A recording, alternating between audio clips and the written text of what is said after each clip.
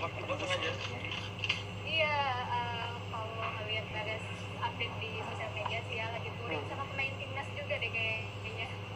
Eh, sama pemain main bola. iya iya iya Ngomong-ngomong sih, kayaknya Bagas tuh tiba-tiba jadi pemain bola. Kayaknya dulu pernah bilang kalau Bagas tuh cita-citanya pengen jadi pembalap. Bener nggak sih? itu keinginan dari bapak aja sih gitu dari bapak. Iya tapi tapi dari kecil ya sudah akrab sama motor ya. udah salah dari kecil udah emang apa senang motor aja gitu Iya, tapi tiba-tiba jadi pemain bola salah satu pemain bola terbaik dia lagi di usia muda di Indonesia. Luar biasa. Juga sekarang kayaknya kesibukan Bagas mungkin ikut training center virtual ya kayaknya. Iya betul betul mbak itu apa mulai dari bulan lalu Mulai dari bulan lalu itu di ya, sampai sekarang masih jalan jalan Oke, tiap hari berarti ya. setiap hari cuma libur di weekend aja sabtu sama minggu Oke. Itu berarti dipantau langsung sama coach Sita ya? ah iya selalu ada Lalu ada. staff coaching staff dari Indonesia coaching staff dari Korea juga ada Iya, keren. Tapi itu gimana sih, Gas? Eh, maksudnya seleksinya udah ada proses kah? Karena kayaknya terakhir ada 44 pemain tuh. Kamu iya sampai sekarang juga masih 44 ya setiap setiap setiap apa setiap virtual itu juga 44 kayaknya kalau nggak salah 44 pemain dan eh, itu akan disiapkan untuk Piala Asia dan itu Piala Dunia ya. betul betul Kira-kira Bagas percaya diri nggak bisa menembus Wan Sinteyong yang kayaknya sih luar biasa gitu kalau udah bisa masuk skadnya dia. ah semudah-mudahan aja mbak ya selalu ada harapan lah dan yang penting kerja keras saja berdoa semoga selalu masuk dalam squad Amin amin ya. Eh, Ngomong-ngomong timnas, eh, gimana persiapan Bagas?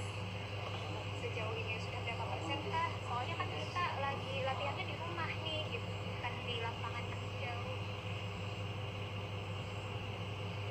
ya sejauh ini cukup bagus lah tapi kalau persenanya mungkin saya sendiri belum tahu pastinya. Tapi apa saya lihat setiap hari latihan mungkin selalu ada progres peningkatan. Oke, itu tadi kita ngobrol-ngobrol soal timnas U19 ya, dan kita doain dari temannya semua. Semoga Cup bisa mewakili dan mewakili Indonesia di ya kancah. Piala Dunia U20 2021 ya. Beruntung sekali kita bisa menjadi tuan rumah. Oke, sekarang kita ngomongin Bagas Kalpa di Liga 1 karena kemarin Bagas Kalpa baru aja debut ya di Liga 1 2020. Gimana rasanya, Gas? Gimana rasanya bisa debut di panggung senior?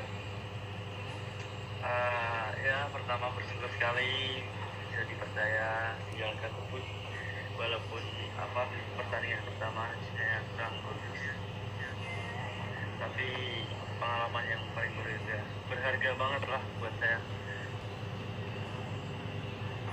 Eh, berhubung Bagas sudah ini ya sudah debut ya. Dan kemarin sih kalau kita lihat sama-sama Bagas itu baru aja perpanjang kontrak. Sampai kapan tuh Bagas? sampai 2023 Siap ya kita eh, teman-teman bertemannya semua harus siap-siap melihat Bagas eh, selalu tampil di Barito Putra dan di Timnas Indonesia.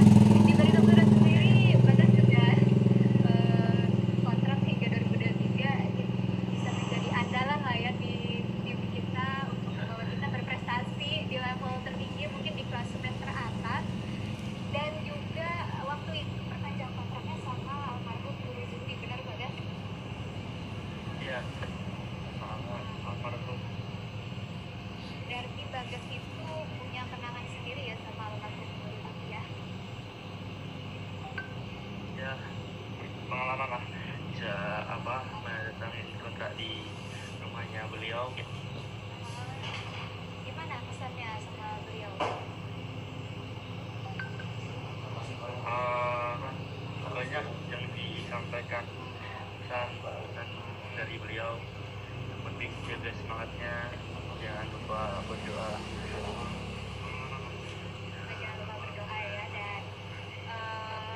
tetap kerja keras.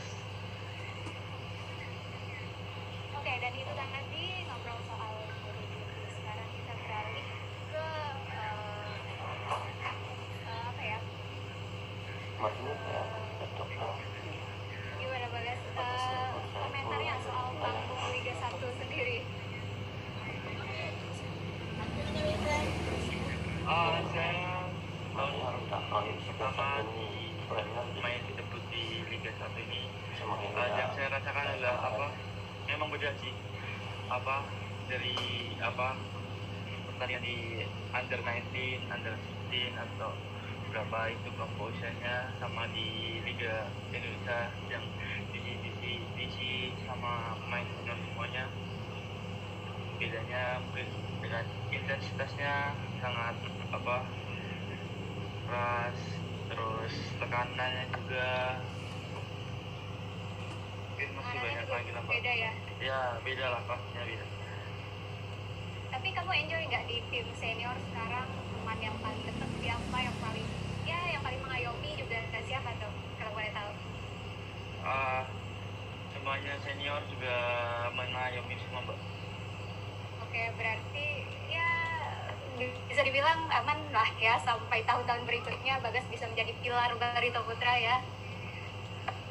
amin lah amin Amin. Eh, Oke, Bagas sekarang kita ngobrol lagi tentang em, karena Bagas ini juga memecahkan rekor sebagai pemain paling muda yang udah debut di Liga 1. Gimana sih Gas potensi pemain muda menurut kamu gitu? Karena kan ini udah eranya kamu nih teman-teman U19 yang bakal eh, mengisi apa ya panggung Liga 1 gitu.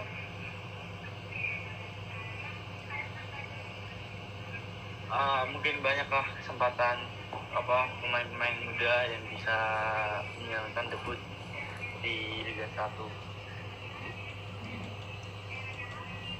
Ya, Jadi Apa, kamu Mbak? berharap Eh, uh, Oke, jadi uh, ya ya Oke, sebentar, uh, teman-teman. Uh, oh ya, jadi se- se- apa ya? Sebagai informasi aja, Bagas sudah menjalani debut di usia 18 tahun nih. Jadi uh, kita sendiri patut bangga karena bisa uh, mengorbitkan pemain muda uh, di panggung Liga 1. Menurut kamu, guys, uh, tim yang uh, apa ya? Yang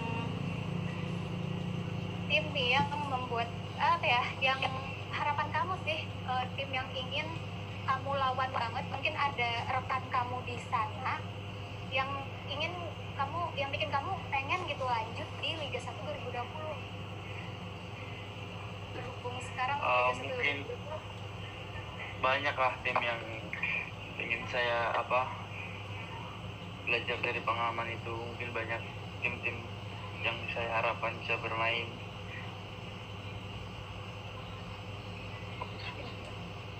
Oke, sebentar ya, mungkin ada sedikit gangguan dari kita berdua. Eh, Oke, sekarang eh, mungkin kita bacakan ya beberapa pertanyaan-pertanyaan dari teman-teman uh, Baritomania semua yang sudah memberikan komentarnya baik di Instagram maupun di Twitter Barito Putra. Eh, kita baca dari Oke, ini dari rekan kita yang bertanya eh, Bagas pernah makan kuliner apa aja sih khas di khas Banjarmasin karena kan kita tahu Bagas sudah bergabung di- Barito Putra tuh udah dari tahun 2018 gitu. oh dari 2018 ya ya betul dari 2018 setelah Iya. AFC itu ya Heeh. Eh, Nah, mungkin banyak sih Mhm. Eh, soto Banjar sih yang paling favorit saya. Soto Banjar. Terus kalau soto Banjar mungkin makanan berat ya. Kalau misalnya makanan yang makanan ringan mungkin kue-kuean. Pernah? Saya belum cukup. Aku belum banyak yang tahu mbak kalau makanan makanan ringan mungkin. Mungkin makanan ringan belum tahu. Tapi kalau bahasa Banjar kayaknya udah jago ya. Ya sedikit sedikit bisa lah kalau bahasa Banjar cuma iya sekarang ngomong bahasa Banjar coba kita challenge. Ah, apa ya mungkin cuma apa ya pian bulu Iya, kadada ada nyaman berarti kayaknya ya sudah sudah layak lah Benar. kita- bujur. ya enggak bujur bujur Wah, bujur ya, ya, ya. bujur Eh, jadi buat teman-teman dari teman ya? semuanya, kayaknya udah udah bisa jadi orang Banjar sih kayaknya Bagas kalau menurut saya. Udah layak main di Barito buat seterusnya sampai senior dan oke Bagas itu tadi sih komentar dari Ed Moriana Miss dan sekarang juga ada eh, pertanyaan dari aku Muhammad Zahrul 11 katanya sih apa sih yang paling berkesan selama Bagas membela Barito Putra dari junior sampai sekarang bisa masuk senior gitu. Apa yang paling berkesan? Mungkin cerita dari Bagas? Ah, yang paling apa? Yang saya paling rasakan di Barito Putra walaupun di junior atau maupun di senior sejauh ini adalah rasa kekeluargaannya, rasa kebersamaannya dan rasa saling memiliki. Itu aja sih mbak. Yang paling apa? Yang paling saya rasakan. Oke, terus juga kayaknya kekeluargaan itu sudah identik banget sih sama Barito Putra ya. Terus ini juga ada lagi. uh, uh, ada lagi pertanyaan uh, Bagas kalau misalnya punya tawaran nih main di luar negeri mungkin khususnya di kawasan Asia pengen main di liga mana sih? Itu pertanyaan dari Irfan Setiawan di Twitter PS Barito yang um,